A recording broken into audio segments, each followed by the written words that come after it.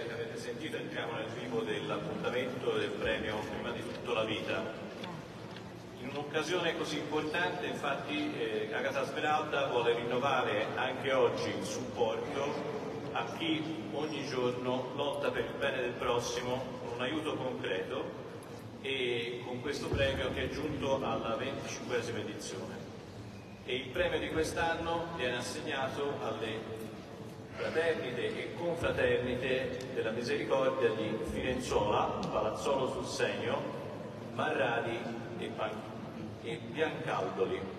E il dottor Paolo Butari, che è membro del consiglio direttivo, leggerà la motivazione di questo importante riconoscimento. E ricordo, prima di lasciare la parola al dottor, al dottor Butari, che a ciascuno dei governatori delle confraternite sarà consegnato il premio di 5.200 euro, mentre la ceramica veterana rompiana sarà consegnata al governatore Claudio Colbatti in rappresentanza di tutte le confraternite dell'altro progetto.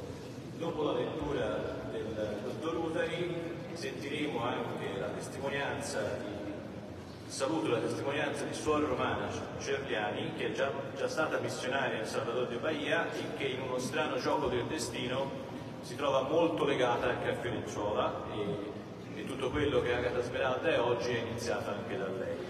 Quindi passo la parola a Paolo.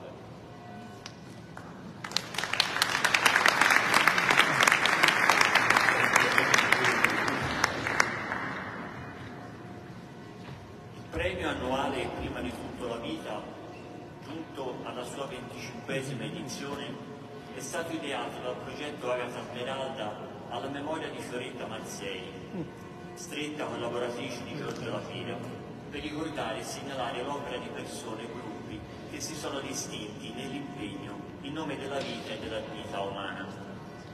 Consiste nella somma di 5.200 euro e nella riproduzione di una ceramica invetriata rompiana che rappresenta un bambino abbandonato in fascia. Quest'anno il direttore dell'associazione ha stabilito di assegnare il premio delle fraternite e confraternite di misericordia di Firenzuola, Palazzolo sul Senio, Marradi e Biancaldoli, luoghi che nel maggio scorso hanno subito gravi danni causati dal maltempo e dalle conseguenti frane, con la seguente motivazione. Dinanzi alla tragedia che di recente ha colpito duramente il territorio non solo dell'Emilia Romagna, ma anche le aree toscane dell'Appennino, con gravi danni al territorio e viabilità e di conseguenza a tante famiglie, attività economiche, aziende agricole, le misericordie dei tre comuni sono state coinvolte fin da subito in prima linea nel soccorrere, confortare e far ripartire la vita quotidiana in mezzo a grandi difficoltà. Come sempre le misericordie sono state accanto alla gente, parte viva delle comunità locali, concreta testimonianza della fede cristiana che si adoperano a servizio dei fratelli in ogni situazione di bisogno. Alle quattro confraternite e fratelli di misericordia, Firenzuola, Piantaldo, Marraglia, Palazzone sul Seno, pertanto assegnata la somma di euro 5.200 e alla misericordia di Firenzuola come fratelli del comune più grande ed è anche per la presenza in quella comunità delle suore stabilite nella carità, prime missionarie a Salvatore Bahia progetto Smeralda nella favela poverissima di Buova Vista San Gaetano sarà consegnata anche alla ceramica del piatto Lugliano.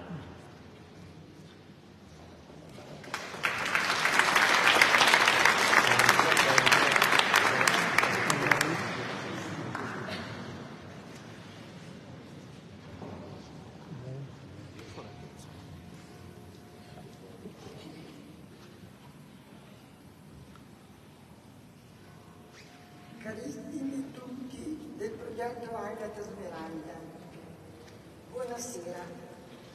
Io sono Sor Romana, appartengo alla congregazione delle suore stabilite nella carità e oggi, con profonda commozione, sono qui a portare la mia testimonianza di un progetto che ho visto nascere e al quale ho preso parte in prima persona.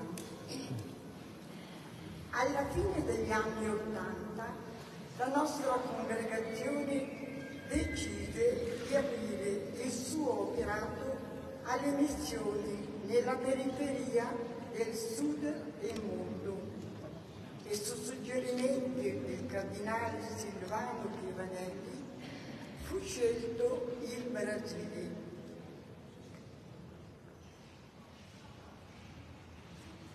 Fu scelto il Brasile, Salvador Bahia, scusate la mia voce ma ormai sono vecchia.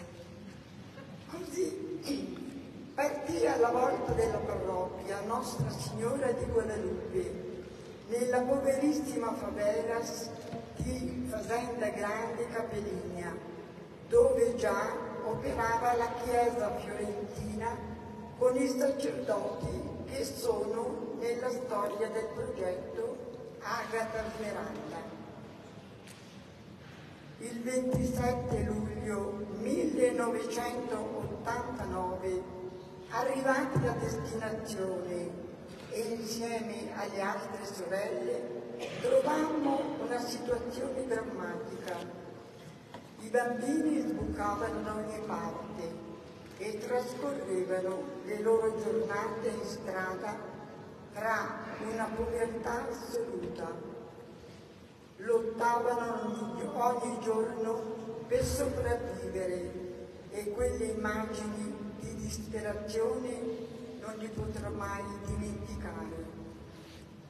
Così, in sintonia con il nostro carisma e con il motto del nostro fondatore che recita accogliere, educare formale, decidemmo che l'iniziativa più urgente e prioritaria fosse quella di aprire una scuola, un edificio che diventasse un faro in grado di squarciare le tenebre della povertà, del degrado e delle sofferenze di, cui, di quelle tante creature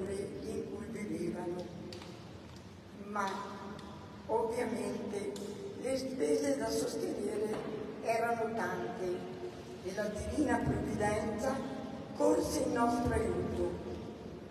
Proprio in quel periodo da Firenze giunse in visita nel nostro, nel nostro baio l'onorevole Carlo Caccini, che come chiunque rimase scioccato della grande povertà e del degrado in cui viveva quella povera gente. Carlo, tornato a Firenze, affrontò subito quella, quella tristissima realtà con i componenti del movimento per la vita e il problema trovò risoluzione grazie all'adozione a distanza e al ruolo fondamentale, prima di tutto, del cardinale Luca Morera Neves, allora arcivescovo proprio di Salvador Bahia, e del professor Mauro Basti, che insieme dettero vita a questa splendida storia d'amore.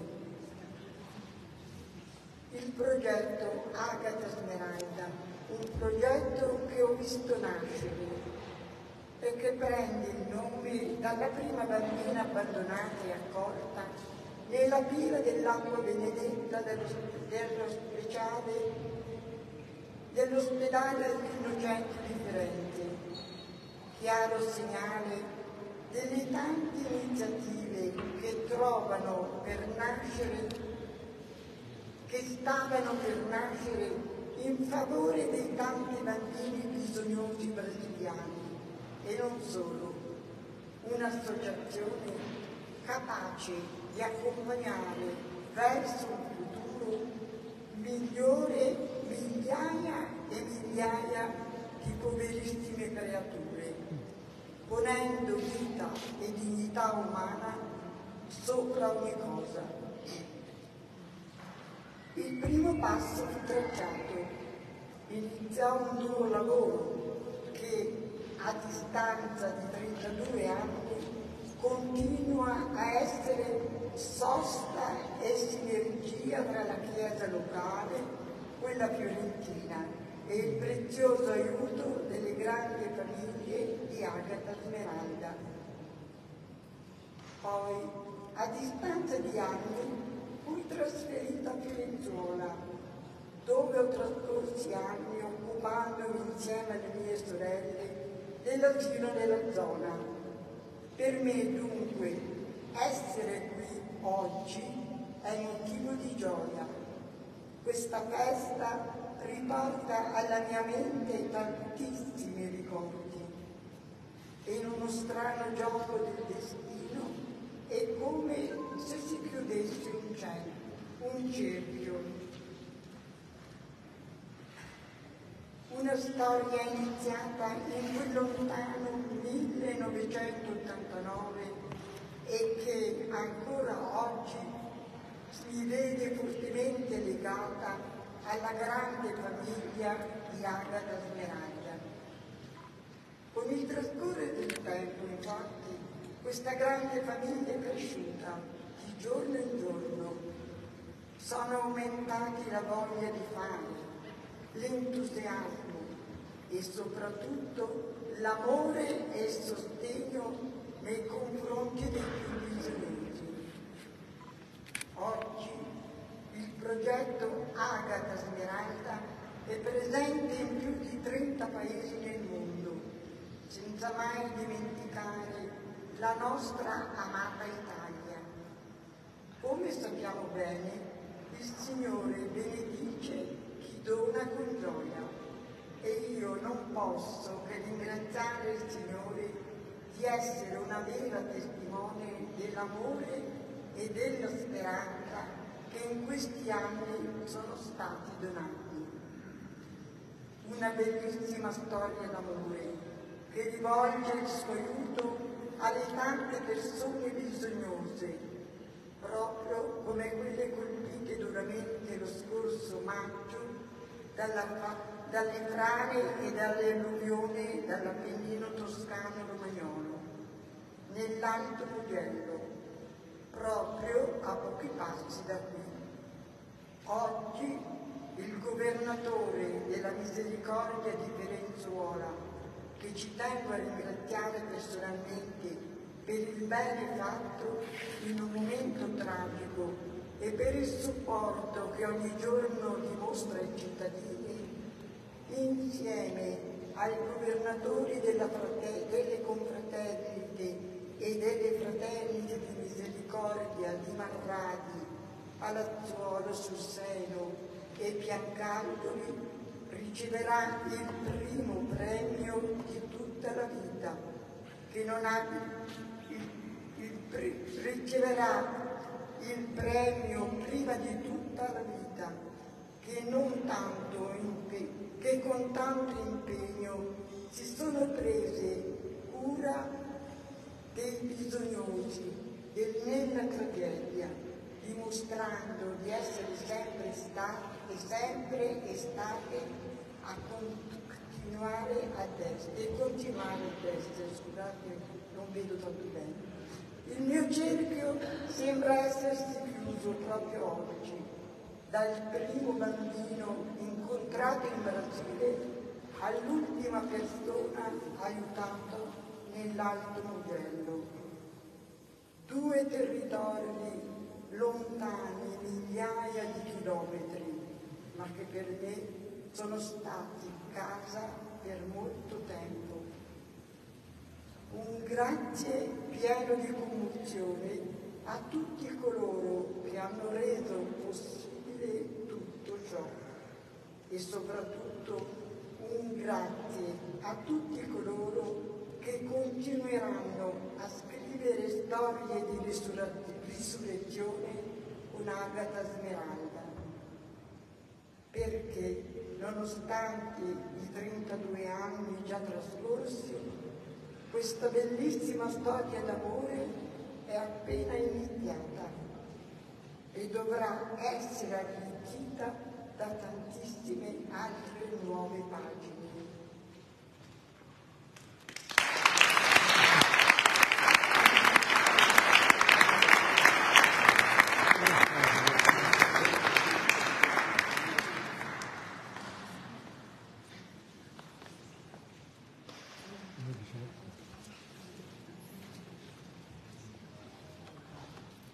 Grazie a Suor eh, Romana per la testimonianza, siamo giunti adesso alla premiazione alla quale dopo seguirà eh, un saluto del governatore Claudio Corbatti e per terminare l'intervento e la testimonianza del cardinale Giuseppe Pretori che ci ha raggiunto.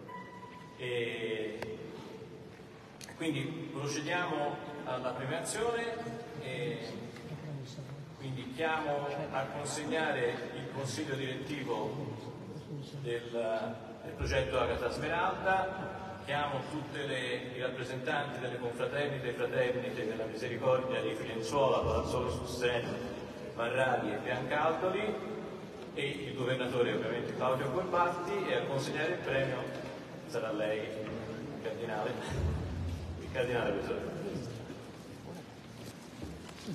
Con gli Да, да,